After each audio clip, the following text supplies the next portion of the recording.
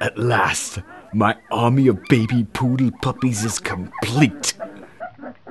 And now we ride.